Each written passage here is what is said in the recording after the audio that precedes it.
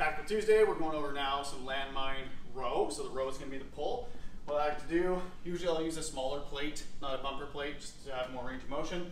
And reach down, grip nice and tight from this short stop position. Rib cage is down, knees are soft. I'm gonna pull my elbow back through the wall behind me, rowing up as high as I can.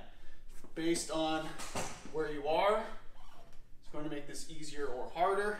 You can always switch up your grip, but the motion is always going to be the same. Landmine row.